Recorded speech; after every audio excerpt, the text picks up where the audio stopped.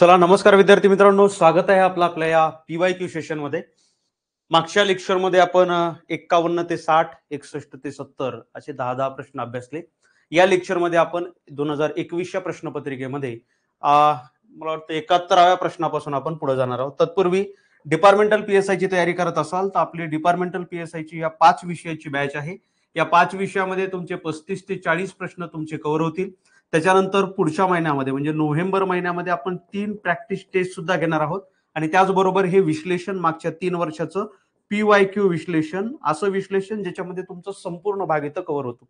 ज्यांनी जॉईन केलेलं नसेल डिस्क्रिप्शनमध्ये आपल्या चॅनल आपलं ऍप्लिकेशनची लिंक आहे. तिथून तुम्ही जॉईन करू शकता. केवळ एकोणावीसशे नव्याण्णव याची फीस आहे. चला पहिल्या प्रश्नाकडे या. पहिला प्रश्न तुमच्यासमोर हा. विधान परिषदेबाबत खालीलपैकी कोणते विधान चुकीचे आहे? आता विधान परिषद म्हणजे काय? मित्रांनो विधान परिषद म्हणजे ज्या राज्यामध्ये द्विगृही कायदे मंडळ असतं त्या द्विगृही कायदे मंडळामध्ये म्हणजे आपण असं म्हणू शकतो की ज्या राज्यामध्ये कायदे मंडळाचे दोन हाऊस आहेत दोन घरं आहेत याच्यामध्ये एक असतं विधानसभा पा एक असतं विधानसभा आणि दुसरं असतं विधान परिषद. आता थोडी आपण विधान परिषदेबद्दल माहिती घेऊया. जेणेकरून आपले हे प्रश्न त्याच्यामध्ये कव्हर होतील. विधान परिषद म्हणजे नेमकं काय? पहा लक्ष द्या. मित्रांनो विधानमंडळ विधानसभा किंवा विधान परिषद काय आहे? तर विधान परिषद जे आहे हे राज्य कायदे मंडळाचा एक भाग आहे. राज्य कायदे मंडळ कोणाकोणाचं मिळून बनत असतं? राज्य कायदे मंडळ म्हणजे राज्याच्या आधिपत्याखाली किंवा राज्याच्या विषयाच्या अंतर्गत येणारे जे कायदे आहेत जे विधानसभा विधान परिषद मिळून बनवतात त्याला आपण राज्य कायदे मंडळ म्हणतो. राज्य कायदे मंडळाची रचना जर आपण पाहिली तर सर्वात वर कोण असतं? तर सर्वात वर असतं राज्यपाल. राज्यपाल त्याच्यानंतर विधानसभा आणि विधान परिषद यांची मिळून काय बनत असते? विधान परिषद यांची मिळून बनत असते राज्य कायदे मंडळ. तर आपल्याला याच्याशी काही घेणं देणं नाही. आपल्याला थोडस विधान परिषदेबद्दल चर्चा करायची. मित्रांनो विधान परिषद सध्या किती भारतामध्ये अस्तित्वात आहेत? तर सध्या सहा राज्यामध्ये विधान परिषद अस्तित्वात आहेत. किती राज्यामध्ये? सहा राज्यामध्ये. कोणते कोणते राज्य आहेत? लक्षात घ्या. पहिलं राज्य आहे आंध्र प्रदेश. संख्या सुद्धा तुम्हाला देतो जेणेकरून परीक्षेला जर संख्या आली तर विचारल्या जाऊ शकते. किंवा संख्या आली तर तुमचा प्रश्न तिथं सुटायला नको. आंध्र प्रदेशमध्ये पन्नास सभासद असणारी विधान परिषद आहे. त्याच्यानंतर बिहार बिहारमध्ये पंच्याहत्तर सदस्य संख्या आहे. त्याच्यानंतर महाराष्ट्र महाराष्ट्रामध्ये मित्रांनो अठ्याहत्तर सदस्य संख्या आहे. त्याच्यानंतर कर्नाटक कर्नाटक राज्यामध्ये मित्रांनो पंच्याहत्तर सदस्य संख्या आहे. त्याच्यानंतर उत्तर प्रदेश राज्यामध्ये सुद्धा विधान परिषद आहे. तिथे सर्वाधिक विधान परिषदेची संख्या शंभर आणि त्याच्यानंतर तेलंगणा राज्यामध्ये सुद्धा विधान परिषद आहे. इथली संख्या चाळीस आपल्याला पाहायला मिळते. क्लिअर आता थोडस या सभागृहाकडे येऊया. मित्रांनो विधान परिषद जे आहे हे विधान परिषद याला स्थायी सभागृह असं म्हणतात. हे स्थायी सभागृह आहे. हे स्थायी सभागृह आहे म्हणजे काय? असं सभागृह आहे ज्याचं कधीच विसर्जन होत नाही. विसर्जन न होणारं सभागृह म्हणून याला स्थायी सभागृह असं म्हणतात. विसर्जन होत नाही. फुल्ली लक्षात घ्या. त्याच्यानंतर हे वरिष्ठ सभागृह आहे मित्रांनो. वरिष्ठ सभागृह. विधानसभा जी आहे याला कनिष्ठ सभागृह म्हटलं जातं. जसं की आपल्या संसदेचा आपण जेव्हा विचार करतो लोकसभा जी आहे लोकसभा काय आहे? लोकसभा कनिष्ठ सभागृह आहे राज्यसभा वरिष्ठ सभागृह आहे. त्याच धर्तीवर हे जे आहे विधान परिषद विधान परिषद वरिष्ठ सभागृह आहे विधानसभा जी आहे याला कनिष्ठ सभागृह असं म्हटलं जातं. आता पुढे सांगा विधान परिषदेची जी स्थापना करण्याचा अधिकार कोणाला आहे? हा प्रश्न तुम्हाला परीक्षेला विचारला जाऊ शकतो. मित्रांनो विधान परिषदेची स्थापना त्याच्यानंतर विधान परिषद नष्ट म्हणजे विसर्जन करण्याचा अधिकार हा जो आहे हा आहे संसदेला. कोणाला आहे संसदेला. क्लिअर हा महत्त्वाचा प्रश्न लक्षात घ्या. आणि त्याच्यानंतर विधान परिषद स्थापन करण्यासाठी विधान परिषदेचा निर्णय घेण्याची विधान परिषदेचा निर्णय घेण्याचा अधिकार जो आहे हा अधिकार असतो राज्यांना. लक्षात घ्या. जोपर्यंत राज्य सरकार निर्णय घेत नाही तोपर्यंत संसद विधानसभा तयार करू शकत नाही किंवा विधानसभा स्थापन करण्याचा कायदा निर्माण करू शकत नाही विधानसभा स्थापनच करू शकत नाही. जेव्हा विधानसभा स्थापन आपलं विधान परिषद स्थापन करायची असते विधान परिषद स्थापन करत असताना ज्या राज्यामध्ये स्थापन करायची त्या राज्य सरकारचं जे विधिमंडळ आहे या विधिमंडळामध्ये असा ठराव पारित करण्यात येतो. आणि त्याच्यानंतर तो ठराव संसदेकडे पाठवण्यात येतो. आणि संसदेनं त्याच्यावर विचार केल्यानंतर संसदेला असं वाटलं की विधान परिषद इथं स्थापन करावी लागेल. तेव्हा संसद कायद्याद्वारे विधान परिषद त्या जो राज्य आहे किंवा राज्याचा भाग आहे त्या राज्यामध्ये विधान परिषद स्थापन करू शकते. राज्य सरकार म्हणण्यापेक्षा मी असं म्हणू शकतो की राज्य विधानसभेला आहे. राज्य विधानसभेला. पहा राज्य विधानसभा. आता विधान परिषदेची रचना नेमकी कशी असते बघा मित्रांनो. विधान परिषदेची रचना. विधान परिषदेच्या रचनेमध्ये काही महत्त्वाच्या गोष्टी आहेत. पहिली महत्वाची गोष्ट आहे विधान परिषदेची सदस्य संख्या किती असेल? सदस्य संख्या जर तुम्हाला विचारले मित्रांनो तर विधान परिषदेची सदस्य संख्या किमान किमान शब्द लक्षात घ्या म्हणजे कमीत कमी चाळीस असते. किती? चाळीस असते. तर जास्तीत जास्त याला मी कमाल शब्द लिहितो किंवा जास्तीत जास्त असा शब्द जरी लिहिला जास्तीत जास्त किती असते तर त्या राज्याच्या विधानसभेची जेवढी सदस्य संख्या आहे त्या विधानसभेच्या सदस्य संख्येच्या एक तृतीयांशपेक्षा जास्त असू नये. जास्त नसते किंवा असू नये. क्लिअर पुढे. सदस्य संख्याबद्दल झालं. आता निवडणूक पद्धत कशी असते विधान परिषदेची? मित्रांनो विधान परिषदेवर निवडून जाणारे जे आमदार असतात किंवा जे सदस्य असतात यांची निवडणूक पद्धत जी आहे ही अप्रत्यक्ष पद्धतीने होत. अप्रत्यक्ष पद्धतीने म्हणजे ही जी निवडणूक पद्धत आहे ही अप्रत्यक्ष पद्धतीने होत असते. आता यांच्या सदस्य संख्येचा जेव्हा आपण विचार करतो किंवा अप्रत्यक्ष कोण कसं निवडून देतं तर लक्षात घ्या जी एकूण सदस्य संख्या असते या एकूण सदस्य संख्येपैकी तुमचा विधान परिषदेवरचा कोणताही प्रश्न या ठिकाणी म्हणजे एवढं जर केलं तर तुमचा कोणताही प्रश्न सुटणार नाही. एकूण सदस्य संख्या जी आहे मित्रांनो याचं डिवायडेशन दोन भागामध्ये केलं जातं. पहिला भाग जो आहे याला आपण निर्वाचित असं म्हणत असतो. निर्वाचित म्हणजे निवडून दिलेले आणि दुसरा जो भाग आहे याला आपण नॉमिनेटेड किंवा नामनिर्देशित म्हणत असतो. आपण इतिहास शिकत असताना पाहिलं होतं एकोणावीसशे एकोणावीसचा कायदा एकोणावीसशे नऊचा कायदा त्याच्यामध्ये मी तुमच्या कन्सेप्ट क्लिअर केलेले आहेत. नामनिर्देशित कोण करतं नामनिर्देशित? तर राज्यपाल जे आहे हे वेगवेगळ्या क्षेत्रातील व्यक्तींना नामनिर्देशित करत असतात. एकूण सदस्य संख्येच्या एक छेद सहा सदस्य जे आहेत हे राज्यपाल नामनिर्देशित करत असतात. म्हणजे जर सहा संख्या एकूण असेल तर राज्यपाल एकाला अधिकार आहे राज्यपालाला नामनिर्देशित करण्याचा. बाकी पाच जे आहेत हे निर्वाचित पद्धतीतून येतील. आता निर्वाचित जी पद्धत आहे या निर्वाचित पद्धतीमध्ये कुठून किती सदस्य निर्माण होतात किंवा कुठून किती सदस्य येतात याची आकडेवारी लक्षात असू द्या. एक तृतीयांश सदस्य जे आहेत हे एक तृतीयांश सदस्य निवडून देण्याचा अधिकार हा विधानसभेला आहे. म्हणजे विधानसभेचे जे आमदार असतात हे एकूण सदस्य संख्येच्या एक तृतीयांश सदस्य निवडून देतात कुठे? कशामध्ये? विधान परिषदेमध्ये. त्याच्यानंतर आणखी एक तृतीयांश सदस्य जे आहेत हे स्थानिक स्वराज्य संस्था जे आहेत आपल्या स्थानिक स्वराज्य संस्था म्हणजे ग्रामपंचायत जिल्हा परिषद त्याच्यानंतर नगरपालिका महानगरपालिका हे सगळ्या स्थानिक स्वराज्य संस्था या संस्थेद्वारे एक तृतीयांश सदस्य जे आहेत हे सदस्य निवडून दिले जातात. ठीक आहे? एक तृतीयांश विधानसभा एक तृतीयांश स्थानिक स्वराज्य सभा. त्याच्यानंतर एक म्हणजे आपण असं म्हणू की एक बारा अंश म्हणजे एकशे बारा सदस्य जे आहेत हे सदस्य पदवीधर मतदारसंघातून येत असतात.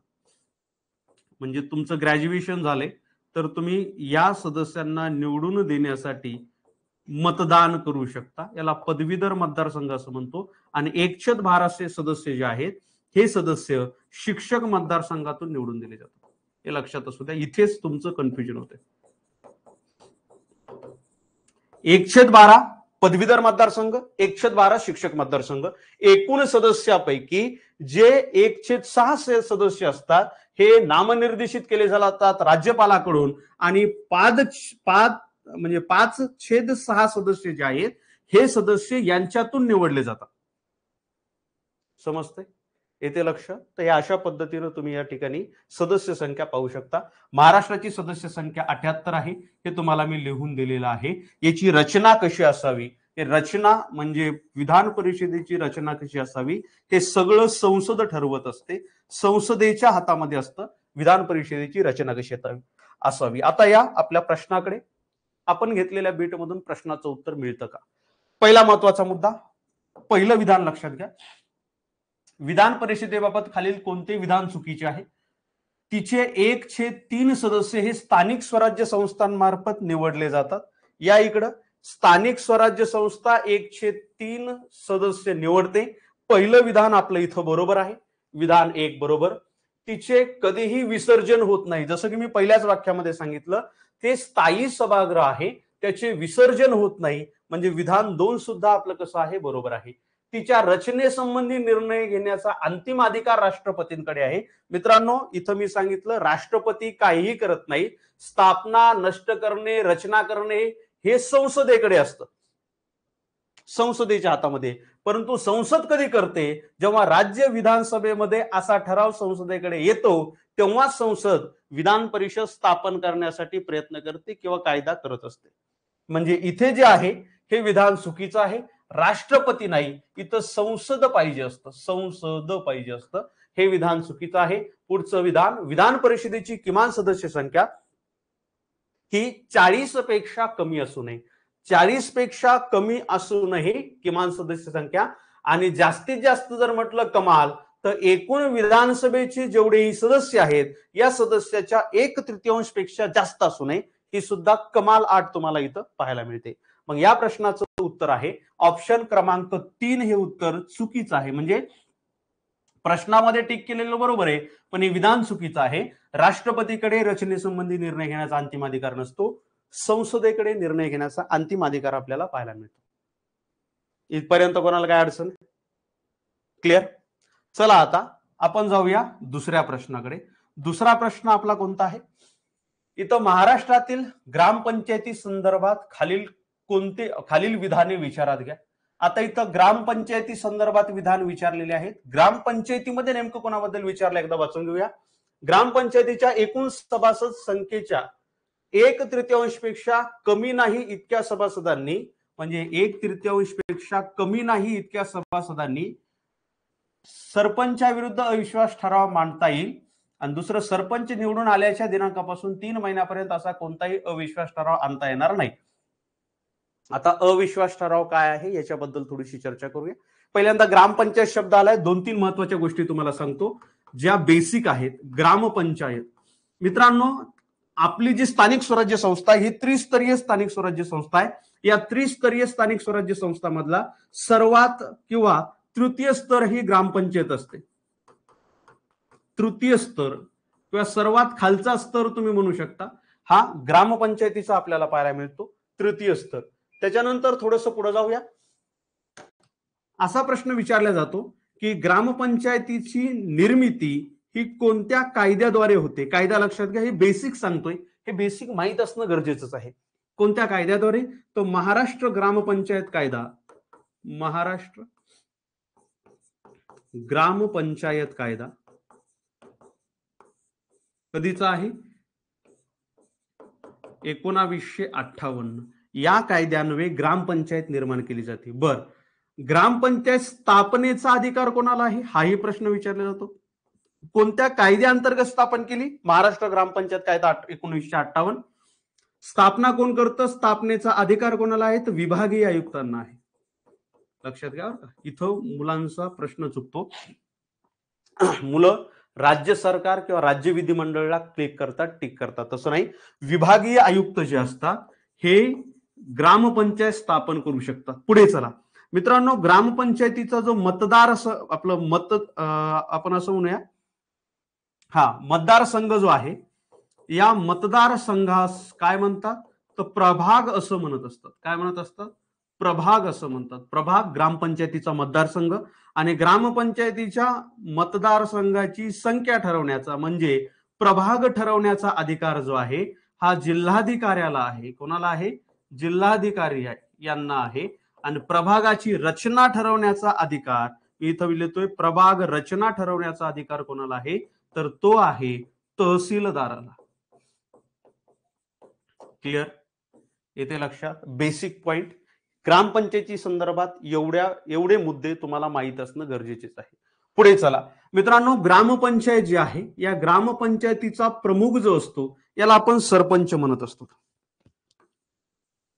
हा? सरपंच. कोणाला म्हणायचं? कारण ज्यांना ज्यांच्या विरोधात अविश्वास प्रस्ताव दाखल केलाय त्यांची ओळख होणं गरजेचे आहे का नाही? सरपंच हा ग्रामपंचायतीचा कार्यकारी प्रमुख असतो. लक्षात घ्या बरं का. कार्यकारी प्रमुख असतो. तुम्हाला सर ग्रामसेवक कोण आहे? ग्रामसेवक हा सचिव असतो. ग्रामसेवक हाच मुख्य कार्यकारी अधिकाऱ्याचंही काम पाहत असतो. कोणाच्या? ग्रामपंचायतीच्या. ठीक आहे? त्याच्यानंतर सरपंचाची आणखी ओळख काय?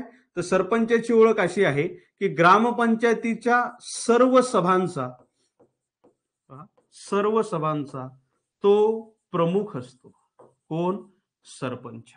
तुम्ही प्रत्येक गावामध्ये पाहता ग्रामपंचायतीचे प्रभाग असतात. या प्रभागामध्ये आपण सदस्य निवडून देतो. सदस्य सात नऊ अकरा. आता याच्याबद्दल मी चर्चा करत बसत नाही. भरपूर त्याच्याबद्दल ऍपमध्ये आपण कोर्समध्ये घेतलेलेच आहे. इथं त्याच्यामध्ये वेळ नाही घालवत. जेवढे आपण सदस्य निवडून घेतोय यापैकी एक जे आहे म्हणजे एकोणावीसशे म्हणजे जेव्हा आपण म्हणूया की आघाडी सरकार होतं. आघाडी सरकारच्या वेळी म्हणजे आपण असं म्हणू शकतो की लोकांमधून सरपंचाची निवड जी आहे ही रद्द केली. युती सरकारनं सुरू केली होती. असो त्याच्या भानगडीत मी जात नाही. फक्त लक्षात घ्या सरपंच जो असतो हे ग्रामपंचायतीचा कार्यकारी प्रमुख असतो सर्व सभांचा प्रमुख असतो. आता थोडस अविश्वास प्रस्तावाबद्दल आपण चर्चा करूया. मित्रांनो अविश्वास प्रस्तावावर विचारले जाणारे प्रश्न बेसिक प्रश्न असतात अविश्वास प्रस्तावावर. अविश्वास प्रस्ताव. आता कसे कसे प्रश्न निर्माण होतात? पहिल्यांदा प्रश्न लक्षात घ्या. प्रश्न पहिला असा निर्माण होतो की अविश्वास प्रस्तावासाठी विशेष सभा जी बोलवली जाते ही विशेष सभा याची मागणी जी आहे ही मागणी करत असताना मागणी किती सदस्यांनी केल्यानंतर अविश्वास प्रस्तावासाठी विशेष सभा बोलवण्यात येते? पहिला प्रश्न पुढील ही जी विशेष सभा बोलवली जाते या विशेष सभेचे अध्यक्ष कोण असतात? म्हणजे सरपंचाला पदावरून दूर करायचे. किती सदस्यांनी विशेष सभेची मागणी केल्यानंतर ती बोलवण्यात येते? त्याच्यानंतर त्याचे अध्यक्ष कोण असतात? त्याच्यानंतर जी विशेष सभा बोलवण्यात आलेली आहे त्याच्यामध्ये अविश्वास प्रस्ताव मांडला गेलेला आहे. तो मंजूर होण्यासाठी बहुमत किती असावं लागतं? हे बेसिक बेसिक प्रश्न लक्षात घ्या. असे प्रश्न विचारले जातात. आता याची एक एक उत्तर. पहिली महत्वाची गोष्ट अशी आहे की अशी मागणी एखाद्या सरपंचाच्या विरुद्ध अविश्वास प्रस्ताव दाखल करायची ही मागणी त्या ग्रामपंचायतीमधल्या दोन तृतीयांश सदस्यांनी कोणाकडे करावी लागते? तहसीलदाराकडे करावी लागते. लक्षात यार का. मग तहसीलदार काय करतो? त्या सदस्यांच्या मागणीची दखल घेतो आणि मग विशेष सभा बोलवतो. आता विशेष सभा बोलवल्यानंतर विशेष सभेचे अध्यक्ष कोण असतात? जसं की तुम्ही म्हणले सर ग्रामपंचायतीच्या सर्व सभांचे अध्यक्ष हे सरपंच असतात. सरपंचाच्या विरोधात अविश्वास प्रस्ताव आहे. विशेष सभेचे अध्यक्ष ज्यांच्याकडे हे पाठपुरावा केला किंवा ज्यांच्याकडे विशेष आपलं सदस्यांविरुद्ध आपलं सरपंचाविरुद्ध अविश्वास प्रस्ताव दाखल केलेला आहे तहसीलदार जे असतात हे या सभेचे अध्यक्ष असतात. पुढे मंजूर कधी होते? अविश्वास प्रस्ताव दाखल केला. दाखल करत असताना त्याच्यावर मतदान होतं. आणि मंजूर कधी होते? जेव्हा त्या मतदानावर तीन चतुर्थांश सदस्य जे आहेत या सदस्यांचे बहुमत होईल. तेव्हा अविश्वास प्रस्ताव जे आहे तेव्हा अविश्वास प्रस्ताव मंजूर होतो. आता अविश्वास प्रस्ताव मंजूर होत असताना काही गदारोळ झाला. काही कागदपत्र चुकीची दाखल केली किंवा गदारोळ असा झाला की काही सदस्यांना विकत घेण्याचा प्रयत्न झाला कोणाला फोडाफोडीचा प्रयत्न झाला आपण असं म्हणूया. सरपंचाला असं वाटलं की बाबा हे इथं काहीतरी आपल्याला फसवण्याचा प्लॅन होतो हे ठराव पास झाल्यानंतर सरपंचाच्या मनात जर आलं की बाबा आपल्याला यांच्याबद्दल थोडीशी शंका येते म्हणजे या अविश्वास प्रस्तावाच्या संदर्भामध्ये जर वाद निर्माण झाला तर वाद निर्माण झाल्यानंतर सात दिवसाच्या आत सरपंचाला जिल्हाधिकाऱ्याकडे दाद मागता येते. जिल्हाधिकारी जे आहे या जिल्हाधिकाऱ्याकडे दाद मागता येते. जिल्हाधिकाऱ्याच्या संदर्भात सुद्धा सरपंचाचा वाद निर्माण झाला तर आणखी सात दिवसाच्या आत विभागीय आयुक्ताकडे त्याला दाद मागता येते. बघा लवचिक किती आहे आपली घटना. विभागीय आयुक्त जे आहे या विभागीय आयुक्तांकडे त्याला दाद मागण्याचा अधिकार आपल्याला पाहायला मिळतो. जर अविश्वास प्रस्ताव हे कसं आहे? अविश्वास प्रस्ताव स्वीकारला गेला तर किंवा मंजूर झाला तर परंतु जर अविश्वास प्रस्ताव फेटाळण्यात आला म्हणजे एवढं बहुमत किंवा एवढं अविश्वास प्रस्तावाच्या विरोधात जर मत पडलं किंवा एवढं बहुमत तिथं साध्य झालं नाही तर अविश्वास प्रस्ताव फेटाळल्यानंतर पुढं काय एक महत्त्वाच्या गोष्टी पहा. अविश्वास प्रस्ताव फेटाळला. फेटाळल्यानंतर तीन महत्त्वाच्या गोष्टी होतात. पहिली महत्वाची गोष्ट अशी आहे की अविश्वास प्रस्ताव फेटाळल्यानंतर किमान पुढील दोन वर्ष तरी सरपंचावर अविश्वास प्रस्ताव आणता येत नाही. अविश्वास प्रस्ताव. आणता येत नाही. शॉर्ट फॉर्ममध्ये लिहित आहे पहिलं महत्वाचं पहिली महत्वाची गोष्ट. दुसरं आहे अविश्वास प्रस्ताव जे आहे हे सरपंचाची निवड झाल्यापासून समजा कालच इलेक्शन झालं सरपंच आज निवडला गेला. म्हणजे काल रिझल्ट लागला आज निवडलं गेलं. लगेच दुसऱ्या दिवशी अविश्वास प्रस्ताव आणला. जमतंय का? तर मला कागद तर बघू द्या ना नेमकं काय आहे. ग्रामपंचायत नेमकी काय आहे? शब्दाचा अर्थ तर कळू द्या मला. तुम्ही लगेच अविश्वास प्रस्ताव आणली त्याच्यासाठी सरपंचाची जेव्हा निवड होती सरपंच निवडीनंतर लगेच सुरुवातीच्या दोन वर्ष तरी अविश्वास प्रस्ताव आणता येत नाही. दोन वर्ष तरी अविश्वास प्रस्ताव आणता येत नाही. आणि तिसरी महत्वाची गोष्ट अशी आहे की ग्रामपंचायतीची मुदत संपते. मुदत संपण्याची तारीख डिक्लेअर झाली. आणि मुदत संपण्याची तारीख डिक्लेअर झाल्याच्या सहा महिने अगोदर म्हणजे सहा महिने जे आहे सहा महिने अगोदर आणता येतो मात्र मुदत संपण्याच्या तारखेपासून सहा महिन्याच्या कालावधीमध्ये अविश्वास प्रस्ताव आणता येत नाही. कारण असाही तो जाणार आहे तसाही जाणार आहे. क्लिअर येते का लक्षात इथपर्यंत कोणाला काय अडचण? मग आता ग्रामपंचायतीच्या सरपंचाच्या अविश्वास प्रस्तावासंदर्भात आता आपण विधानांकडे येऊया. आपण जेवढं पाहिलंय त्याच्यावरून ही विधानं हे वाक्य सोडवता येतात का? पहिलं महत्वाचं आहे. ग्रामपंचायतीच्या एकूण सभा सभासद संख्येच्या एक तृतीयांशपेक्षा कमी नाही इतक्या सभासदांना सरपंचाविरुद्ध अविश्वास ठराव मांडता येईल. जसं की मी सांगितलं एक तृतीयांशपेक्षा कमी नाही म्हणजे एक तृतीयांशपेक्षा अधिक. आता इथं किती जणांना सांगितलंय? दोन तृतीयांशांना सांगितलंय. म्हणजे पहिलं जे विधान आहे पहिलं विधान इथंच खोडलं जातं.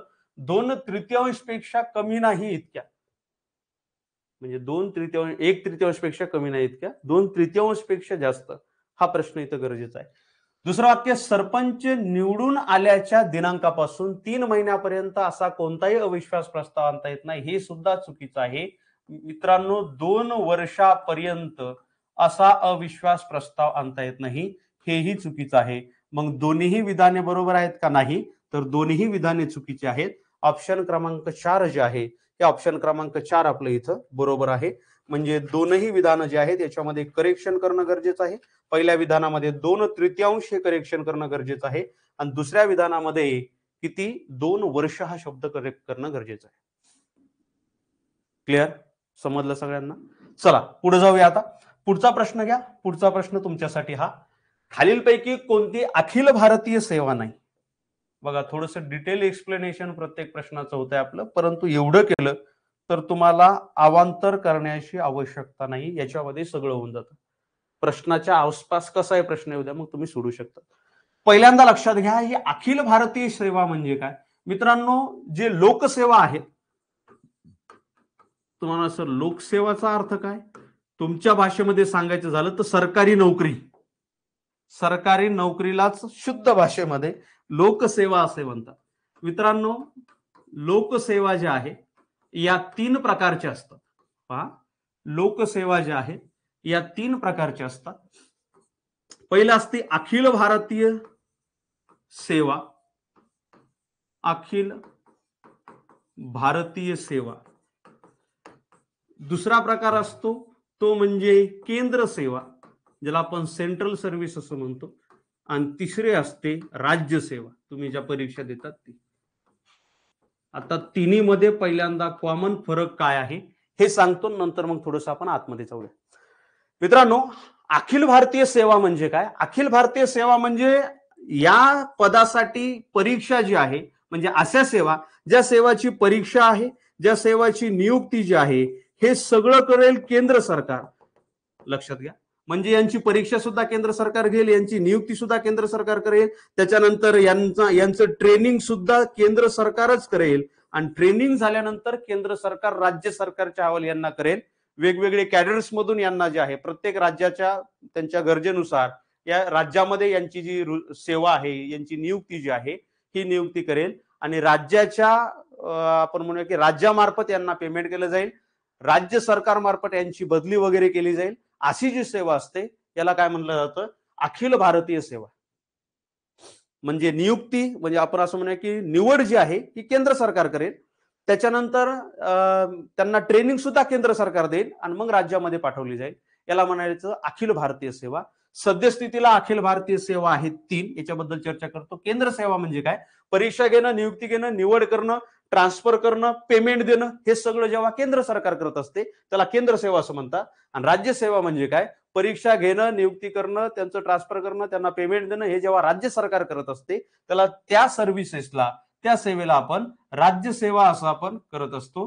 राज्यसेवा असं आपण म्हणत असतो. मित्रांनो लक्षात घ्या. अखिल भारतीय ज्या सेवा आहेत या अखिल भारतीय सेवामध्ये तीन महत्त्वाच्या सेवा येतात. पहिली महत्वाची सेवा ते याचे पहिल्यांदा थोडीशी माहिती इथं मी लिहून देतो. अखिल भारतीय सेवेमध्ये यांची नियुक्ती जी आहे नियुक्ती त्याच्यानंतर आपण असं म्हणूया की नेमणूक नियुक्ती नेमणूक ही कोण करेल? केंद्र सरकार करेल. आणि त्याच्यानंतर त्यांचं पद व पगार त्यांना कोणत्या पदावर किती पगार द्यायचा आहे हे राज्य सरकार करेल. अशी जी सेवा सर्व्हिस असते याला आपण काय म्हणत असतो? याला आपण अखिल भारतीय सेवा म्हणतो. राज्यघटनेच्या मित्रांनो कितव्या कलमामध्ये याचा उल्लेख आहे? राज्यघटनेच्या कलम तीनशे बारा अंतर्गत ही सेवा येत असते. किती? तीनशे बारा अंतर्गत. सद्यस्थितीला तीन सेवा ज्या आहेत तीन सर्व्हिसेस ज्या आहेत त्या अखिल भारतीय सर्व्हिसेस मध्ये मोडल्या जातात. पहिली सर्व्हिस आहे भारतीय प्रशासकीय सेवा. भारतीय प्रशासकीय सेवा ज्याला आपण इंडियन ऍडमिनिस्ट्रेटिव्ह सर्व्हिस असं म्हणतोय. तरी तुमच्या लक्षात आले नसेल तर जेव्हा मी आय ए एस असं लिहितोय ही जी सेवा आहे याला आपण अखिल भारतीय सेवा असं म्हणतो. ही पहिल्या स्थानावर आहे. तुम्ही पाहू शकता जिल्हाधिकाऱ्याचं ट्रान्सफर करणं पोलीस महासंचालकांचंही ट्रान्सफर करणं राज्य सरकारच्या हातामध्ये असतं. कोणाची निवड कुठं करणं वगैरे वगैरे. आयुक्त जे असतात यांची सुद्धा बदली करणं आपण पाहत असतो की मुंडे साहेब जे आहेत यांची खूप वेळा इथून तिथे तिथून तिथं बदली केली जाते. हे केंद्र सरकार करत नाही कारण पेमेंट राज्य सरकार देतं तर राज्य सरकार करत असतं. मित्रांनो ही जी सेवा आहे ही सेवा एकोणावीसशे सत्तेचाळीसपासून आय एस सेवा म्हणून ओळखली जाऊ लागली. एकोणावीसशे सत्तेचाळीस पूर्वी हीच भारतामध्ये आयसीएस म्हणून ओळखली जात होती. काय? आयसीएस म्हणून ओळखली जात होती. मित्रांनो ज्या अखिल भारतीय सेवा ज्या आहेत त्या अखिल भारतीय सेवेचे जनक कोणाला म्हटलं जातं असं जर तुम्हाला विचारलं तर सरदार वल्लभभाई पटेल यांना म्हटलं जातं. कशामुळे म्हटलं जातं? सरदार वल्लभभाई पटेल जे आहे या पटेलनं या सेवा ऍज इट इज सुरू ठेवाया याच्या समर्थनार्थ सरदार वल्लभभाई पटेल पहिल्यापासून होते आणि त्याच्यासाठी त्यांनी प्रयत्न सुद्धा केले. म्हणून अखिल भारतीय सेवेचे जनक हे सरदार वल्लभभाई पटेल यांना म्हणतात. त्याच्यानंतर दुसरी आहे भारतीय पोलीस सेवा. भारतीय पोलीस सेवा. इंडियन पोलीस सर्व्हिस ज्याला आपण आय पी एस असं म्हणत असतो ही सुद्धा अखिल भारतीय सेवा आहे. याची सुद्धा सुरुवात एकोणावीसशे सत्तेचाळीस पासूनच झालेली आपल्याला पाहायला मिळते. आणि तिसरी सेवा आहे त्याला आपण भारतीय वन सेवा असं म्हणतो. इंडियन फॉरेस्ट सर्व्हिस असं म्हणतो. भारतीय वन सेवा. त्याला आपण आय एफ एस असं म्हणतो. ही सुद्धा अखिल भारतीय सेवा म्हणूनच ओळखली जाते. हा याची जी सुरुवात आहे मात्र मित्रांनो याची सुरुवात एकोणावीसशे सहासष्टपासून या सेवेची सुरुवात झालेली आहे. किंवा या सेवेला अखिल भारतीयचं स्थान मिळालेलं आहे. तर लक्षात असू द्या अशा पद्धतीनं तुम्हाला परीक्षेला प्रश्न विचारले जाऊ शकतात. तर तीन सर्व्हिसेस जे आहेत हे अखिल भारतीय. थोडस केंद्र सेवाकडे मित्रांनो येऊया. केंद्र सेवामध्ये नियुक्ती पदभार पेमेंट वगैरे हे कोण करतं? हे केंद्र सरकार करत असतं. त्याला आपण केंद्र सेवा किंवा केंद्र सर्व्हिस असं आपण म्हणत असतो. मित्रांनो केंद्र सेवेचे काही एक दोन उदाहरणं ज्याच्यामध्ये तुम्ही कन्फ्युज होतात की जे आपण म्हणतो भारतीय परराष्ट्र सेवा. परराष्ट्र सेवा. ही केंद्र सेवामध्ये मोडते. परराष्ट्र सेवा ज्याला मी शॉर्ट फॉर्ममध्ये जर असं आपण म्हटलं तर या ठिकाणी Indian foreign service I F S ही परराष्ट्र सेवा केंद्र सेवामध्ये मोडते. सद्यस्थितीला मित्रांनो अठ्ठावन्न केंद्र सेवा आहेत. किती? अठ्ठावन्न केंद्र सेवा आहेत. राज्यसेवेचा विचार केला तर सध्या अडोतीस राज्यसेवा आहेत. क्लिअर आता केंद्र सेवा जी आहे हा पहिल्यांदा हे दोन तीन लिस्ट देतो जे तुम्हाला महत्त्वाचे आहेत. भारतीय महसूल सेवा जी आहे ही सुद्धा केंद्र सेवाच आहे. याला आपण इंडियन रिव्हेन्यू सर्व्हिस असं म्हणतो आय आर एस असं म्हणतो. त्याच्यानंतर संरक्षण लेखा सेवा जी आहे ही सुद्धा केंद्र सेवाच आहे. याला आपण म्हणत असतो Indian defence accountant service A S I D S. आता ही जी केंद्र सेवा आहे मित्रांनो या केंद्र सेवाचं आणि राज्य सेवाचं समान विभाजन आपल्याला पाहायला मिळतं. चार भागामध्ये. पहिलं ग्रुप ए आता तुमच्या लक्षात आलं असेल. दुसरं ग्रुप बी त्याच्यानंतर ग्रुप सी आणि चौथं ग्रुप डी. आपल्याला आता लक्षात आलं असेल की आपण ज्या परीक्षा देतो त्याच्यामध्ये आपण म्हणतो ना गट क ची तयारी करायला का? गट ब ची तयारी करायला का? ग्रुप ए ची तयारी करायला का? म्हणजे आपण म्हणतो की एमपीएससी जे पद असतात मोठे ज्याला आपण म्हणतो की क्लास वन अधिकारी हे क्लास वन म्हणजे ग्रुप ए त्याच्यानंतर बी सी डी मग हे कर्मचारी वगैरे वर्ग जे आहेत हे ग्रुप सी पासून सुरू होतात. ग्रुप बी पासून अधिकारी वर्ग सुरू होत असतात. केंद्र सेवेचे सुद्धा तसंच आहे आणि राज्यसेवेचं सुद्धा तसंच आहे. आता येऊया या माहितीच्या आधारे प्रश्न आपण सोडू शकतो का? भारतीय वनसेवा विचारले इंडियन फॉरेस्ट सर्व्हिस आपण पाहिलं ही काय आहे? अखिल भारतीय सेवा आहे. त्याच्यानंतर इंडियन हा foreign service I F S जी आहे इथं बरेच जण कन्फ्युज होतात. ही नाहीये ही केंद्र सेवा आहे मित्रांनो. केंद्र सेवा आहे. ठीक आहे? त्याच्यानंतर Indian administrative service I A S हे सुद्धा बरोबर हे सुद्धा बरोबर. म्हणजे ऑप्शन दोन हे चुकीचं होतं. आणि आपल्याला चुकीचं विचारलेलं आहे. म्हणजे ऑप्शन नंबर दोन जे आहे हे ऑप्शन नंबर दोन या प्रश्नामध्ये बरोबर आहे. म्हणजे इथे हे जे आहे हे जे आहे ऑप्शन आपल्याला पाहायला मिळतं. समजते सगळ्यांना? क्लिअर चलो. पुढे या. पुढचा प्रश्न तुमच्यासमोर हा. उच्च न्यायालयाच्या न्यायाधीशांना पदावरून दूर करण्याचा अधिकार कोणाला आहे? उच्च न्यायालयाच्या न्यायाधीशांना पदावरून दूर करण्याचा अधिकार कोणाला आहे? करा कमेंट बघूया. उच्च न्यायालयाच्या न्यायाधीशांना पदावरून दूर करण्याचा अधिकार कोणाला आहे? सर्वप्रथम उच्च न्यायालय काय आहे? लक्षात घ्या. थोडीशी मी माहिती तुम्हाला देतो. बेसिक तोपर्यंत तुमचे उत्तर येऊ द्या. मित्रांनो जे न्याय व्यवस्था आहे आपली ही न्याय व्यवस्था जी आहे हे भारतीय शासन व्यवस्थेचा तिसरा महत्त्वाचा स्तंभ आहे. तिसरा स्तंभ याला म्हटलं जातं. आपली न्याय व्यवस्था एकेरी न्याय व्यवस्था आहे मित्रांनो. एकेरी न्याय व्यवस्था म्हणजे आपल्याला एका म्हणजे एका खटल्यासाठी तुम्ही जर सेशन कोर्टामध्ये गेला तर तुम्ही हाय कोर्टापर्यंत सरळ त्या खटल्यासाठी जाऊ शकता. म्हणजे इथं दाद नाही मिळाली तिथं तिथं दाद नाही मिळाली तर वर. म्हणजे एकेरी न्याय व्यवस्था आपली पाहायला मिळते.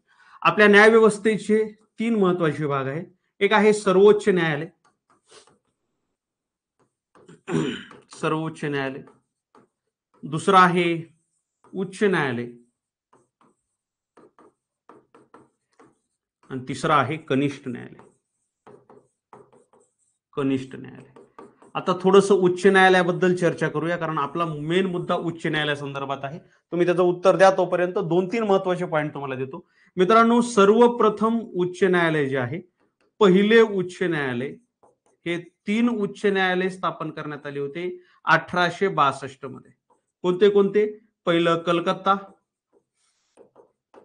बॉम्बे आणि मद्रास. आणि चौथं न्यायालय जर तुम्हाला विचारलं मित्रांनो तर इथून पुढे चार वर्षानंतर अठराशे सहासष्टमध्ये अलाहाबाद जे आहे हे अलाहाबाद चौथं उच्च न्यायालय म्हणून स्थापन करण्यात आलेलं आहे. क्लिअर सद्यस्थितीला आपण जर पाहिलं तर सद्यस्थितीला भारतामध्ये पंचवीस उच्च न्यायालय आहे. आता या पंचवीस उच्च न्यायालयामध्ये न्यायालय आहे. तर या पंचवीस उच्च न्यायालयामध्ये पहिलं म्हटलं तर हे तीन येतील. आणि शेवटचं जर तुम्हाला म्हटलं तर एकोणावीसशे आपलं सॉरी दोन हजार एकोणावीसमध्ये आंध्र प्रदेश उच्च न्यायालय स्थापन करण्यात आलं. हे सर्वात शेवटचं पंचवीसावं उच्च न्यायालय आपल्याला पाहायला मिळतं.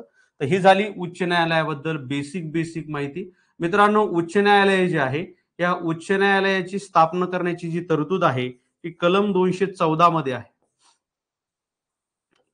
कलम दोनशे चौदा जी आहे याच्यामध्ये प्रत्येक राज्यासाठी एक उच्च न्यायालय असेल असं या कलमेमध्ये दिलेलं आहे. त्याच्यानंतर त्याच्यावर सातव्या घटना दुरुस्तीनुसार त्याच्यामध्ये बदल करण्यात आले की उच्च न्यायालयाची संख्या किती असावी? उच्च न्यायालयाची रचना कशी असावी? आणि उच्च न्यायालय म्हणजे उच्च न्यायालयाची संख्या नेमकी ठरवण्याचा अधिकार जो आहे हा अधिकार मग संसदेला देण्यात आलेला आहे. इथपर्यंत कोणाला अडचण नसावी? आता आपण येऊया प्रश्नाकडे. प्रश्न विचारलाय उच्च न्यायालयाच्या न्यायाधीशांना पदावरून दूर करण्याचा अधिकार कोणाला आहे? मित्रांनो उच्च न्यायालयाच्या न्यायाधीशांचा हा पहिल्यांदा पदावरून दूर करण्या अगोदर त्यांची नेमणूक कोण करतं लक्षात घ्या मित्रांनो. नेमणूक कशी होते याच्यावरून पदावरून दूर कसं केलं जातं हे तुमच्या लवकर लक्षात येईल. मित्रांनो यांची नेमणूक जी आहे हे राष्ट्रपती मार्फत होत असते. बघा यांची नेमणूक जी आहे ही राष्ट्रपती मार्फत होत असते. राष्ट्रपती एकटे निवड करतात का? की बाबा चला याला हे आपल्या अं, जवळचा आहे नातलग आहे. त्याला चला करा सर्वोच्च न्यायालय आपलं उच्च न्यायालयाचा न्यायाधीश नाही. याच्यासाठी राष्ट्रपती काय करतात? तर याच्यासाठी राष्ट्रपती सरन्यायाधीशांची शिफारस घेतात. म्हणजे सरन्यायाधीश जे आहे ते सरन्यायाधीश यांचा विचार घेतात. आणि त्याचबरोबर राष्ट्रपती ज्या राज्याच्या उच्च न्यायालयामध्ये नियुक्ती करायची आहे नेमणूक करायची आहे त्या संबंधित राज्याच्या राज्यपालाचा विचार घेतात. या दोन्हींचा विचार घेऊनच या ठिकाणी इथे मी देतो विचार या दोन्हीचा विचार घेऊनच या ठिकाणी नेमणूक केली जाते कुणाची? उच्च न्यायालयाच्या न्यायाधीशाची. उच्च न्यायालयाचे न्यायाधीश. ठीक आहे? आता पुढे. यांचा पदावधी किती असतो? मित्रांनो पदावधी तर त्यांचा निश्चित असा नाही परंतु ते वयाची बासष्ट वर्ष पूर्ण होईपर्यंत बासष्ट वर्ष पूर्ण होईपर्यंत पदावर राहू शकतात आता पदावरून यांना दूर कसं करता येतं? इथं आपला मुख्य प्रश्न येतो. पदावरून दूर कसं करता येतं? पदावरून दूर सर्वोच्च न्यायालयाच्या न्यायाधीशांना जसं केलं जातं तसं महाभियोग खटलाद्वारे पदावरून दूर करण्याची प्रोसेस याला आपण महाभियोग असं म्हणतो. महाभियोग खटला जे आहे याद्वारे राष्ट्रपतीच्या आदेशाने पहा बर का राष्ट्रपतीच्या आदेशाने पदावरून त्यांना दूर केले जाते. आता तुम्हाला राष्ट्रपतीच्या आदेशानं म्हणल्यावर काय? राष्ट्रपतीला वाटलं याला काढून टाका चला काढून टाका. राष्ट्रपतीला वाटलं याला नियुक्त करा. नियुक्त करत असताना या दोन अटी तर तुमच्या लक्षात आल्या. आता राष्ट्रपतीच्या आदेशाने महाभियोग खटल्याद्वारे पदावरून दूर केलं जातं. पण ती प्रोसेस काय? पण नेमकी प्रोसेस काय? थोडस प्रोसेसकडे आपण येऊया. कारण परीक्षेला असेच प्रश्न आता विचारले जात आहेत. काठिण्यता पातळी थोडीशी वाढवली जात आहे. मित्रांनो प्रोसेस लक्षात घ्या. लोकसभेसाठी प्रोसेस आणि राज्यसभेसाठी प्रोसेस आता एखाद्या राज्यसभा आता एखादा उच्च न्यायालयाचा न्यायाधीश आहे. मी म्हणेल हा न्यायाधीश आहे. आणि या न्यायाधीशाला असं सरकारनं ठरवलं की या न्यायाधीशाला पदावरून दूर करायचं आहे मग हा न्यायाधीश म्हणजे या न्यायाधीशाच्या विरोधात एक ठराव जो आहे पदावरून दूर करण्याचा ठराव जे आहे लोकसभेमध्ये मांडला जातो. जर लोकसभेमध्ये मांडायचा असेल तर त्याच्यावर शंभर सभासद जे आहेत किंवा लोकसभेचे सदस्य जे आहेत यांच्या स्वाक्षरीनिशी तो ठराव लोकसभेमध्ये मांडला जातो. यांच्या सही असणारं पत्र हे शंभर सदस्य सही असणारं पत्र लोकसभेचे जे अध्यक्ष आहेत लोकसभा अध्यक्ष ज्याला आपण स्पीकर असं म्हणतो या अध्यक्षांकडे असा पदावरून दूर करण्याचा ठराव जो आहे शंभर सदस्य त्यांच्याकडे मांडतात. जर राज्यसभेत हा ठराव मांडायचा म्हटलं तर पन्नास सदस्य जे आहे हे राज्यसभेचे अध्यक्ष जे उपराष्ट्रपती असतात यांच्याकडे जे आहे अशा पद्धतीचा ठराव जो आहे हा ठराव मांडत असतात. आता हा ठराव मांडल्यानंतर या अध्यक्षांना अधिकार असतो की ठराव स्वीकारायचा किंवा फेटाळायचा. जर यांनी ठराव स्वीकारला पहा लक्षात घ्या ठराव जर स्वीकारला तर पुढची प्रोसेस लक्षात घ्या. ठराव स्वीकारल्यानंतर हे अध्यक्ष काय करतात? अध्यक्ष त्रिस्तरीय समिती स्थापन करतात. स्त्री सदस्यीय समिती. त्रिसदस्यीय समिती. स्त्री सदस्यीय समिती. सरळ कारण ही समिती काय करणार? ही समिती अगोदर चेक करणार की खरंच इथे गैरवर्तुळ म्हणजे कोणत्या कारणासाठी यांना पदावरून दूर केलं जातं? पदावरून दूर करण्याची दोन कारणं आहेत. पहिलं महत्वाचं कारण जे आहे की गैरवर्तणूक करणं. गैरवर्तणूक करणं आणि दुसरं घटनात्मक पडताळणी न करणं किंवा घटनाभंग करणं. ठीक आहे? या कारणासाठी यांना पदावरून दूर केलं जातं. तीन सदस्यांची एक समिती अध्यक्षाच्या अध्यक्ष नेमतात. आता या तीन सदस्यांच्या समितीमध्ये कोण असतं? पहिलं असतं सरन्यायाधीश. किंवा जर सरन्यायाधीश काही कामात व्यस्त असतील तर सर्वोच्च न्यायालयाचा एखादा न्यायाधीश. सर्वोच्च न्यायालयाचे न्यायाधीश. पुन्हा कोणत्याही उच्च न्यायालयाचा न्यायाधीश. उच्च न्यायालय जे आहे यांचा एक न्यायाधीश. आणि दुसरे असतात निष्णात कायदे पंडित तिसरे निष्णात कायदे पंडित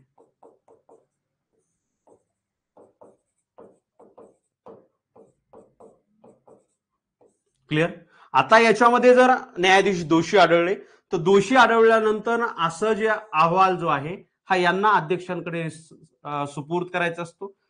जर ते दोषी आढळले तर यांच्या विरोधात या ठिकाणी विशेष बहुमताने यांच्या यांना पदावरून दूर करण्याचा ठराव जो आहे हा पारित करण्यात येतो. आणि हे सगळं स्वाक्षरीसाठी राष्ट्रपतीकडे पाठवलं जातं. आणि मग राष्ट्रपती जे आहेत हे आदेश देतात आणि तेव्हाच एखाद्या न्यायाधीशाला पदावरून दूर केलं जातं. ही न्यायाधीशाला पदावरून दूर करण्याची प्रोसेस आहे. समजतंय का? समजते चला आता प्रश्नाकडे येऊया. आपल्याला ज्ञात असलेल्या माहितीवरून हा प्रश्न सोडवता येतो का? पहिलं विधान आहे राज्याचा राज्यपाल. मित्रांनो राज्यपाल त्याचं फक्त इथं एवढंच काम आहे. की राज्यपालाचा विचार न्यायाधीशाच्या नेमणुकीसाठी राष्ट्रपती घेतात. बाकी काढत असताना राज्यपालाचं काही घेणं देणं नाही. मुख्यमंत्र्यांचं तर दूर दूरपर्यंत काय घेणं देणं नाही. एवढ्या याच्यामध्ये मुख्यमंत्र्याचं नावच कुठं आलं नाही. तिसरा आहे महाभियोगाद्वारे राष्ट्रपतींना. महाभियोगाद्वारे राष्ट्रपती आदेशाने त्यांना दूर करतात. हा एक अधिकार आहे परंतु ड काय आहे? महाभियोगाद्वारे राज्यपालांना. मी आत्ताच म्हटलं राज्यपालाचा रोल फक्त नेमणुकीपर्यंतचा त्याच्या पुढे राज्यपालाचा रोल नाही. ऑप्शन क्रमांक क. बघा फक्त क आहे का? हा ऑप्शन क्रमांक तीन. फक्त क जे आहे हे या प्रश्नामध्ये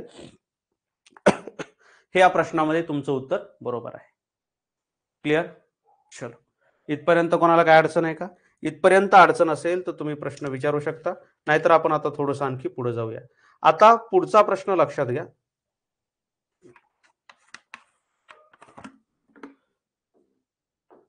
हा.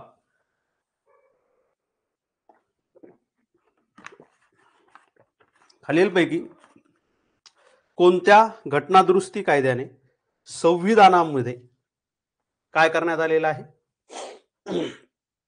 पहिल्यांदा घटनादुरुस्ती करण्यात आलेली आहे. तर मित्रांनो इथं तुम्हाला मुख्यतः पंचायती संबंधीची तरतूद करण्यात आलेली आहे असं विचारलेलं आहे. सर्वात पहिल्यांदा त्र्याहत्तरावी घटनादुरुस्ती.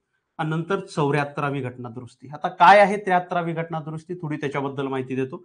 मित्रांनो त्र्याहत्तरावी घटना दुरुस्ती जी आहे ही पंचायत राज संबंधात आहे. परंतु कोणत्या पंचायत राज संबंधामध्ये आहे? ग्रामीण पंचायत राज संबंधामध्ये आहे. ग्रामीण पंचायत राज पहा. ग्रामीण पंचायत राज संदर्भात ही घटना दुरुस्ती केलेली आपल्याला पाहायला मिळते.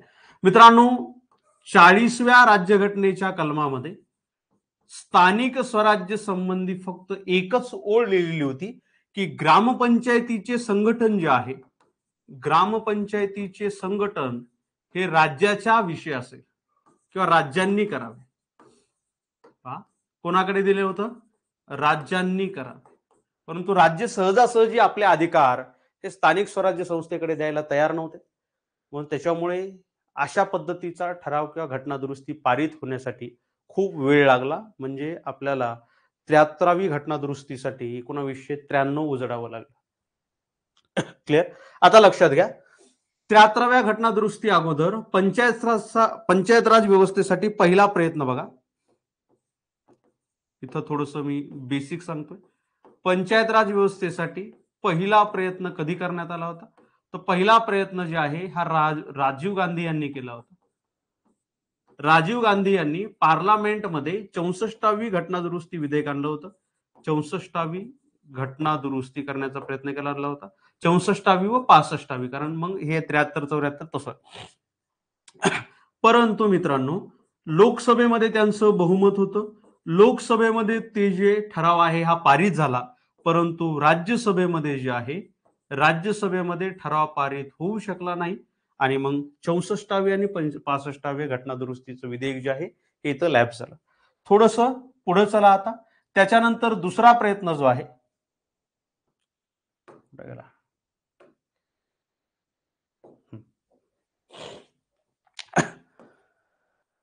त्यानंतर दुसरा प्रयत्न जे आहे हे त्र्याहत्तरावी घटना दुरुस्तीचा हे विधेयक कधी आणण्यात आलं? असे प्रश्न आलेले आहेत पहा. त्यामुळे व्यवस्थित लक्ष देऊन करा. हे विधेयक जे आहे हे बावीस डिसेंबर एकोणावीसशे ब्याण्णव रोजी मांडण्यात आलं. ठीक आहे? बावीस डिसेंबर एकोणावीसशे ब्याण्णव रोजी लोकसभेमध्ये हे विधेयक मंजूर झालं. मंजूर झालं. त्याच्यानंतर हेच विधेयक तेवीस डिसेंबर एकोणावीसशे ब्याण्णवला राज्यसभेमध्ये मांडण्यात आलं आणि राज्यसभेमध्ये सुद्धा हे विधेयक मंजूर झालं. कोण पंतप्रधान होते? पंतप्रधान होते पंतप्रधान होते. त्यांचं नाव P V Narasimha Rao. P V Narasimha Rao. आता हे जे विधेयक आहे हे राज्यांशी निगडीत होतं. म्हणून राज्यांच्या विधिमंडळाची मान्यता आणणं गरजेचं होतं. म्हणून राज्यांच्या विधिमंडळासाठी हे विधेयक प्रत्येक राज्यामध्ये पाठवण्यात आलं. राज्यांच्या किती विधिमंडळाची याला मान्यता मिळाली? जवळपास सतरा राज्यांच्या विधिमंडळाची या विधेयकाला मान्यता मिळाली. त्याच्यानंतर मित्रांनो वीस एप्रिल तारीख लक्षात घ्या वीस एप्रिल एकोणावीसशे त्र्याण्णव याच्यावर राष्ट्रपतीची स्वाक्षरी झाली आणि हे विधेयक जे आहे याचं कायद्यामध्ये रूपांतर झालं. त्र्याण्णव त्र्याहत्तरावी घटना दुरुस्ती जी आहे याला चोवीस एप्रिल एकोणावीसशे त्र्याण्णव रोजी याची अंमलबजावणी सुरू झाली. लक्षात घ्या बरं का. कधीपासून सुरू झाली? चोवीस एप्रिल एकोणावीसशे त्र्याण्णव म्हणून हा जो दिवस आहे हा पंचायत राज दिन म्हणून साजरा केला जातो. पहा पंचायत राज दिन म्हणून साजरा केला जातो. ही झाली त्र्याहत्तरावी घटना दुरुस्ती ही ग्रामीण भागातील पंचायत राज व्यवस्थेशी संबंधित होती. हा. इथं लक्ष द्या. पहिल्यांदा कोणत्या राज्याच्या विधानसभेनं हे विधेयक मंजूर केलं? तर त्याचं नाव लक्षात असू द्या. मध्य प्रदेश ठराव पारित केला मध्य प्रदेश या राज्यानं. त्याच्यानंतर हा एकूण जर आपण पाहिलं तर सतरा राज्यानं जे आहे हे विधेयक मंजूर केले. आता या विधेयकानं राज्यघटनेत कोणते बदल झाले? लक्षात घ्या. राज्यघटनेमध्ये कोणते बदल झाले? राज्यघटनेमध्ये भाग नऊ जोडण्यात आला. या राज्यघटनेमध्ये भाग नऊ जोडण्यात आला आणि या भाग नऊ मध्ये पहा अकरावी अनुसूची अकरावी अनुसूची आणि एकोणतीस विषय जे आहेत या एकोणतीस विषयाचा समावेश इथे करण्यात आला. आता लक्षात घ्या हे कुठे राज्यघटनेमध्ये ऍड केलं? तर कलम दोनशे त्रेचाळीसपासून कलम दोनशे त्रेचाळीसपासून. म्हणजे असं म्हणूया की कलम दोनशे त्रेचाळीसच्या आत ए पासून ते ओ पर्यंत हे जे आहे ही पुरवणी जोडण्यात आली. ही घटना दुरुस्ती जोडण्यात आली. ही झाली त्र्याण्णवी त्र्याहत्तरावी घटना दुरुस्ती त्र्याहत्तरावी घटना दुरुस्ती कधी करण्यात आली? ही करण्यात आली होती एकोणावीसशे त्र्याण्णव ला आणि चौऱ्याहत्तरावी घटना दुरुस्ती सुद्धा एकोणावीसशे त्र्याण्णवला. ही घटना दुरुस्ती शहरी पंचायत राजशी संबंधित आहे. तर ऑप्शन क्रमांक दोन जे आहे या प्रश्नामध्ये आपलं बरोबर आहे. क्लिअर इथपर्यंत कोणाला काय अडचण आहे का? आजच्या लेक्चरमध्ये पाचच प्रश्न आपले झाले. ठीक आहे? सर आणखी एक प्रश्न घेतो शेवटचा प्रश्न. प्रश्न तुमच्यासमोर जोड्या लावा. बाबा पद्मनजी सावित्रीबाई फुले गोपाळ गणेश आगरकर भाऊ महाजन. त्याच्यानंतर वृत्तपत्र दिलेले आहेत. त्याच्यानंतर ग्रंथ सुद्धा दिलेले आहेत. तर वृत्तपत्र ग्रंथ कोणते आहेत ते तुम्हाला ओळखायचे. जोड्या लावाच्या संदर्भात असा प्रश्न तुम्हाला विचारण्यात आलेला आहे. तर त्याचं उत्तर व्यवस्थित द्या. ऑप्शनमध्ये तुम्हाला काय वाटतं? एका एका याच्यावर सुद्धा उत्तर निघत आहे.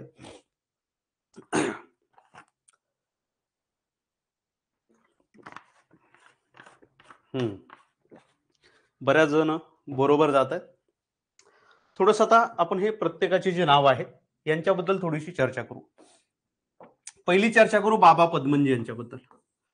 मित्रांनो बाबा पद्मनजी यांचा जन्म कासार जातीमध्ये झाला होता आणि यांनी हे सांगण्याचं कारण असं की यांनी ख्रिश्चन धर्माचा स्वीकार केला होता. थोडस बाबा पद्मनजी यांची ग्रंथ आपण फक्त ग्रंथ संबंधेबद्दल चर्चा करतोय बाकी बाबतीत बाकी बाबतीत नाही. इथं फक्त यांच्याबद्दल विचारलं जातं. यांनी ख्रिश्चन धर्म स्वीकारला. आता ग्रंथ संमता लक्षात घ्या. पहिला आहे यमुना पर्यटन. पहा इथं मी लिहितोय. हे एवढं व्यवस्थित करा जे मी तुम्हाला देतोय. बाबा पद्मनजी यांनी यमुना पर्यटन लिहिलं. मित्रांनो यमुना पर्यटनमध्ये त्यांनी काय केलेलं आहे? स्त्रियांची जे दुःख आहे या स्त्रियांच्या दुःखांना वाचा फोडली किंवा स्त्रियांचे दुःख जे आहे हे दुःख त्यांनी मांडले.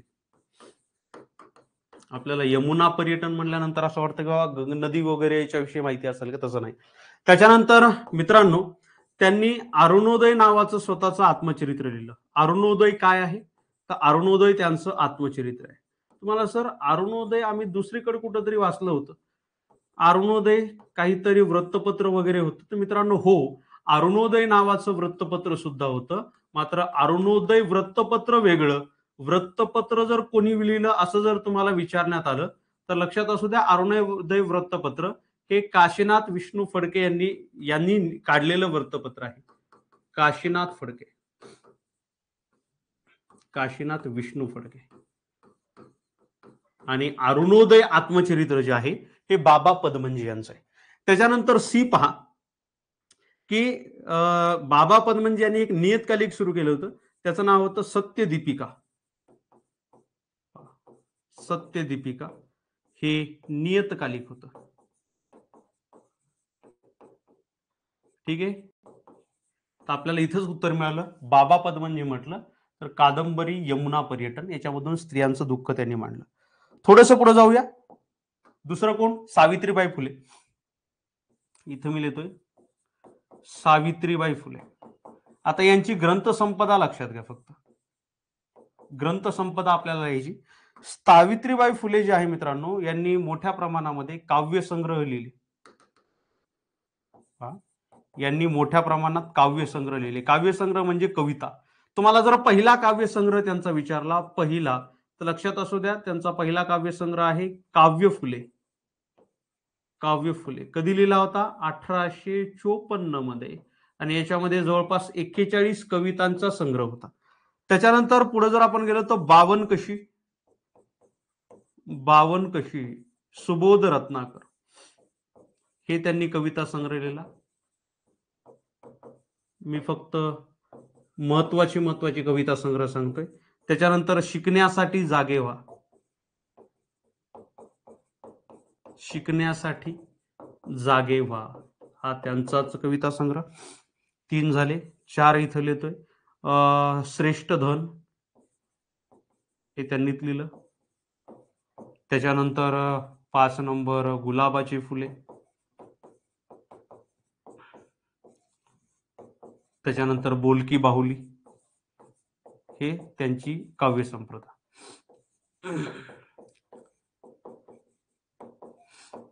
ठीक आहे? इथपर्यंत कोणाला काय अडचण? हे झाले दोन. मग सावित्रीबाई फुले म्हटलं तर लगेच लक्षात येतं. बावन्न कशी सुबोध बावन्न कशी सुबोध रत्नाकर. म्हणजे एक च चार ब च काय ब च तीन. आता येऊया गोपाळ गणेश आगरकर यांच्या संदर्भात. थोडीशी महत्वाची माहिती. गोपाळ गणेश आगरकर जे आहेत यांनी सुरुवातीला लोकमान्य टिळकांसोबत काम केलं. त्यांची फक्त ग्रंथ संपदा मी तुम्हाला देतो गोपाळ गणेश आगरकर.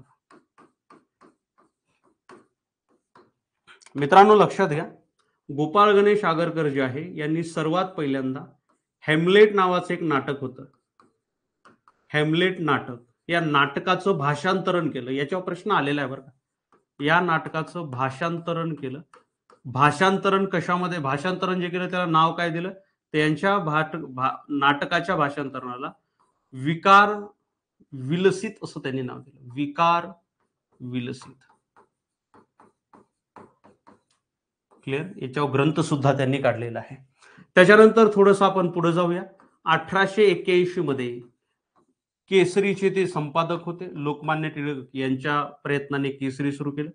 केसरी वृत्तपत्र. यांचे संपादक होते. त्याच्यानंतर अठराशे अठ्ठ्याऐंशी मध्ये गोपाळ गणेश आगरकर जे आहे यांनी सुधाकर नावाचं वृत्तपत्र काढलं. कोणतं वृत्तपत्र काढलं? सुधाकर नावाचं वृत्तपत्र काढलं. सुधाकर या वृत्तपत्रामध्ये दोन महत्त्वाचे प्रश्न तुम्हाला विचारले जाते सुधाकर वृत्तपत्राचे जे मराठी संपादक होते हे होते आगरकर. हा लक्षात घ्या. हे होते आगरकर आणि इंग्रजी संपादक जे होते हे होते गोपाळ कृष्ण गोखले. गोपाळ कृष्ण गोखले. इथे तुम्ही कन्फ्युज होता. कशाचे? सुधाकरचे. थोडस पुढे जाऊया. त्याच्यानंतर बघा त्यांनी ग्रंथ लिहिला डोंगरीच्या तुरुंगातील तुरुंगातील एकशे एक दिवस हा त्यांचाच ग्रंथ आहे. क्लिअर त्याच्यानंतर त्यांचं आत्मचरित्र विचारलं जातं. आत्मचरित्र लक्षात असू द्या. त्यांचं आत्मचरित्र आहे. ते म्हणजे फुटके नशीब. हा एक मुद्दा ज्येष्ठ मला आठवला याच्यावरून की बाबा पद्मनजी जे आहे या बाबा पद्मनजी यांनी ब्राह्मणांचे कसब हा जो ग्रंथ होता कोणी कोणाचा? ज्योतिबा फुले यांचा. या ब्राह्मणांच्या कसब ग्रंथामध्ये त्या ग्रंथाची प्रस्तावना यांनी लिहिली होती. लक्षात घ्या बरं का. या ग्रंथाची प्रस्तावना जी आहे ही यांनी लिहिली होती. असो फुटके नशीब वगैरे हे गोपाळ गणेश आगरकर. हा आणखी काही एक दोन ग्रंथ मला आठवत आहे ते इथं मी लिहून देतो. इतर ग्रंथ कोणते? तर इतर ग्रंथ गुलामगिरीचे शस्त्र यांचाच ग्रंथ आहे. गुलामगिरीचे शस्त्र वाक्यमीमांसा वाक्यमीमांसा. हे कोणाचं आहे? तर गोपाळ गणेश आगरकर यांचं आहे. थोडस पुढे चला. शेवटचं काय नाव आहे? भाऊ महाजन कुंटे. त्याच्यानंतर भाऊ महाजन कुंटे. मित्रांनो भाऊ महाजन कुंटे जे आहे यांनी एकोणावीसशे सॉरी अठराशे चाळीसला अठराशे चाळीसला प्रभाकर नावाचं साप्ताहिक सुरू केलं. प्रभाकर साप्ताहिक सुरू केलं. आणि या प्रभाकर मधून दोन मुख्य व्यक्तींनी लेख लिहिले मित्रांनो. लोकहितवादी जे होते या लोकहितवाद्यांनी प्रभाकर मधून शतपत्रे लिहिली. पा शतपत्रे लिहिली. याच्यावर खूप वेळा प्रश्न आयोगाने विचारलेला आहे. आणि भाऊदाजी लाड जे आहे भाऊ दाजी लाड यांनी याच वृत्तपत्रामधून स्वकीयांचे दोष लिहिले. स्वकीयांचे दोष लिहिले. त्याच्यानंतर अठराशे त्रेपन्न अठराशे त्रेपन्न धूमकेतू हा साप्ताहिक धूमकेतू हे साप्ताहिक त्यांनी लिहिलं. साप्ताहिक होत. आणि अठराशे त्रेपन्नलाच ज्ञानदर्शन नावाचं त्रैमासिक त्यांनी काढलं. ज्ञानदर्शन नावाचं त्रैमासिक. आता येऊया आपल्या प्रश्नाकडे. गोपाळ गणेश आगरकर सुधाकर सुधारक हे आपल्याला माहीत आहे. एक नंबर. आणि भाऊ महाजन जे आहे प्रभाकर. दोन नंबर. चार तीन एक दोन. चार तीन एक दोन. ऑप्शन क्रमांक एक जे आहे ते ऑप्शन क्रमांक एक एक इथे पूर्णतः बरोबर आहे. क्लिअर समजतंय का रे सगळ्यांना? चला. तर मग या लेक्चरमध्ये आज आपण इथं थांबतोय. जे डिपार्टमेंटल पी एस आयची तयारी करत असतील तुम्ही तुमचे मित्र वगैरे त्यांना नक्कीच या बॅच बद्दल कळवा.